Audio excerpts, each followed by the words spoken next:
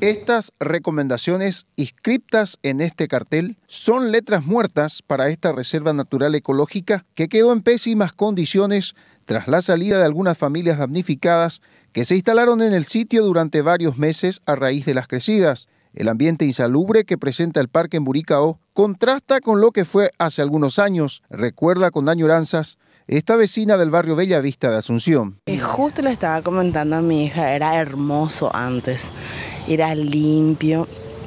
Antes la gente se sentaba por lo menos acá, la gente de acá del 12 practicaba y ahora le dije, es una pena cómo está nuestro parque ahora, le dije. Horrible está. Todo destruido. Todo destruido, todo. No hay un lugar donde vos puedes sentarte tranquila. Los piques que hay, la basura, horribles.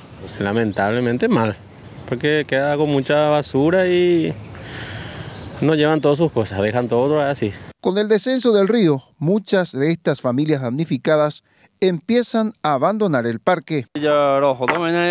¿Vos meses y me guave? Tres meses creo. Muy bello. A ver, está hablando ahí. Bate. Ah, o con que yo. Ah, oye, pues calle, no la oye, no la vemos. Quita la penderoga, pe, oye, está la hora. ¿Qué vamos más a hacer acá?